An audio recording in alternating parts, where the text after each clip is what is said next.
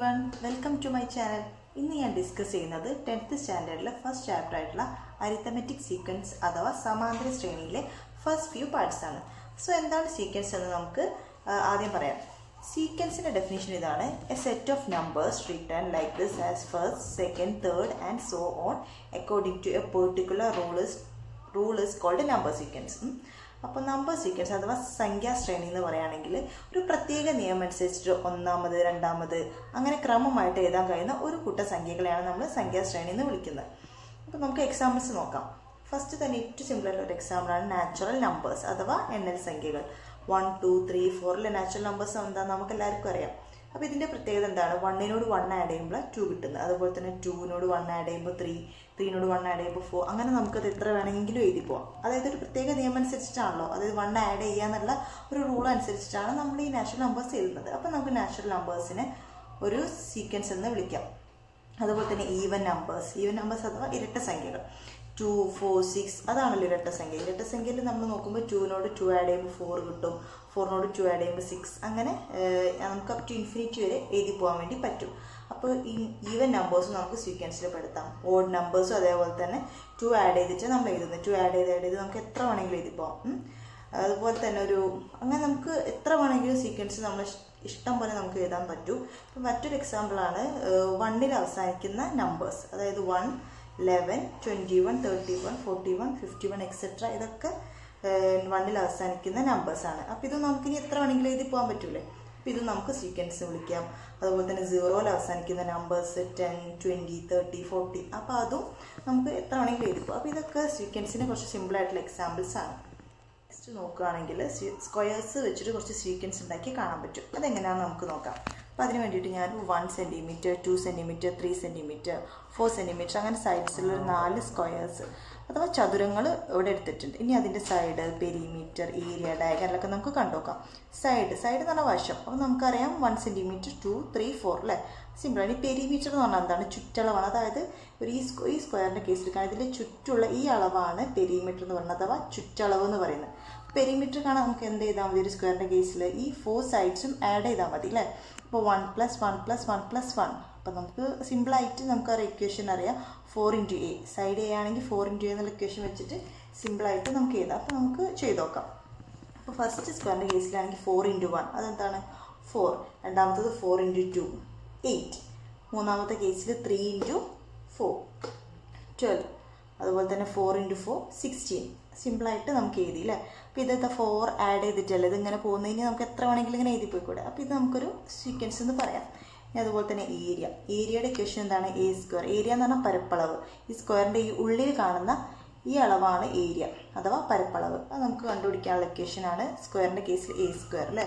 Rectangle ആണെങ്കിൽ ലെങ്ത്തിന്റെ വിടുത്ത് അല്ലേ? ഇവിടെ ഇപ്പോൾ സ്ക്വയർ ആയതുകൊണ്ട് സൈഡ് ഇന്റു സൈഡ് ചെയ്താൽ മതി. എ സ്ക്വയർ അപ്പോൾ വൺ ആകുമ്പോൾ വൺ തന്നെ. One square two square four three square nine four square sixteen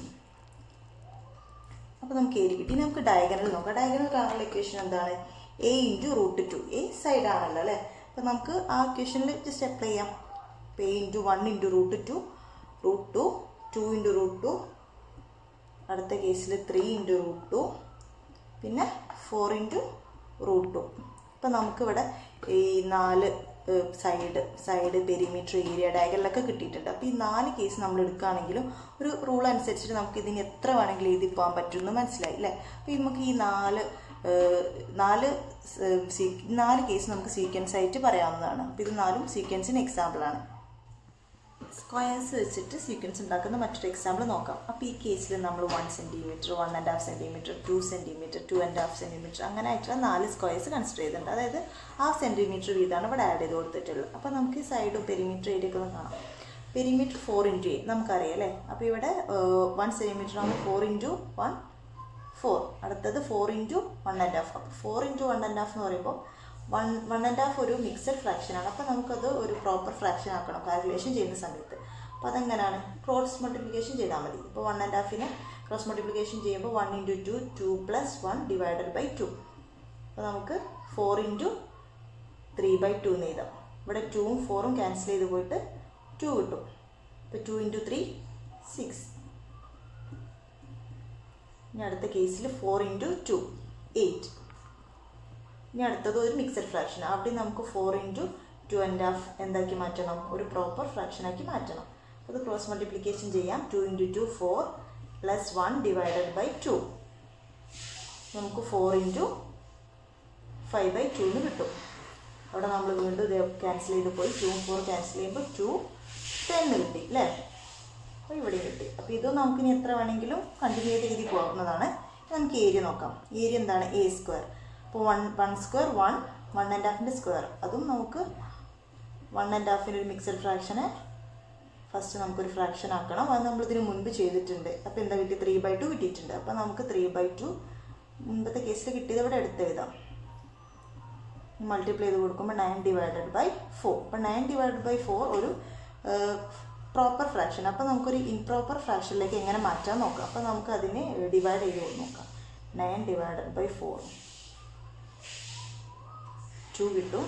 eight ഇനി പോവില്ല. അപ്പോൾ നമുക്ക് അതിനെ ഇനി എങ്ങനെ മാറ്റി എഴുതാം അപ്പോൾ നമുക്ക് ടു ടു ടൈംസ് നമുക്ക് ഫുള്ളായിട്ട് കിട്ടിയിട്ടുണ്ട്. അപ്പോൾ two into one by four എഴുതാം.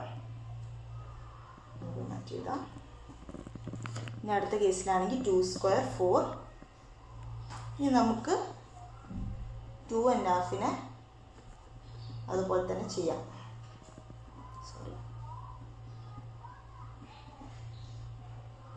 ടു ആൻഡ് ഹാഫിന്റെ പ്രോപ്പർ ഫ്രാക്ഷൻ നമ്മൾ ഇതിന് മുൻപ് കണ്ടിട്ടുണ്ട് ഫൈവ് ബൈ ടു ആണ്. അപ്പോൾ നമുക്ക് five by two into five by two ചെയ്യാം.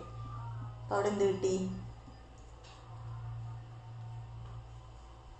ഇവിടെ twenty five divided by twenty five divided by four അപ്പോൾ ഇതിനെ നമുക്കിനി ഒരു ഇംപ്രോപ്പർ ഫ്രാക്ഷൻ ആക്കണ്ടേ മിക്സഡ് ഫ്രാക്ഷൻ ആക്കണ്ടേ അപ്പോൾ നമുക്ക് twenty five divided by four ചെയ്യാം. ട്വന്റി സിക്സ് വൺ ഇപ്പോൾ നമുക്ക് എങ്ങനെ മാറ്റിയത് നേരത്തെ ഇതേപോലെ തന്നെ ജി കെ സി ഇതേപോലെ തന്നെ നമുക്ക് six into one by four എന്ന് മാറ്റി എഴുതാം six into one by four ഇപ്പോൾ ഡയഗ്രലിന്റെ കേസ് വരുമ്പോൾ നമുക്കൊരു ഡയഗ്രൽ ഇക്വേഷൻ എന്താണ്? റൂട്ട് ടു ഇന്റു എ അപ്പോൾ റൂട്ട് ടു ഇന്റു ഇവിടെ എ വൺ ആണ്. അപ്പോൾ റൂട്ട് ടു രണ്ടാമത്തെ കേസിൽ root two into one and half one and half എങ്ങനെയാണ് നമ്മൾ ഒരു മിക്സഡ് ഫ്രാക്ഷൻ പ്രോപ്പർ ഫ്രാക്ഷൻ ആക്കിയപ്പോൾ കിട്ടിയത് ത്രീ ബൈ ടു ഇവിടെ ത്രീ ബൈ ടു അതുപോലെ തന്നെ two root five by two root five by two ആണ് നമുക്ക് മിക്സഡ് ഫ്രാക്ഷനെ പ്രോപ്പർ ഫ്രാക്ഷൻ ആക്കിയപ്പോൾ ഇവിടെ കിട്ടിയത്. അപ്പോൾ നമുക്ക് അത് എഴുതാം. അപ്പോൾ ഈ രീതിയിൽ നമുക്ക് ഇനി എത്ര വേണമെങ്കിലും കണ്ടിന്യൂ ചെയ്ത് പോകാം എല്ലാ കേസിലും നമ്മൾ ഈ പറഞ്ഞ ഈ രണ്ട് സ്ക്വയേഴ്സ് വെച്ചുള്ള എഴുതിയിട്ടുള്ള ഈ അളവുകളൊക്കെ ഒരു സീക്വൻസിന് എക്സാമ്പിൾസ് ആണ്. അപ്പോൾ ഈ അരിത്തമെറ്റിക് സീക്വൻസിന്റെ കൂടുതൽ വിശേഷമായിട്ട് നമുക്ക് അടുത്ത വീഡിയോയിൽ കാണാം.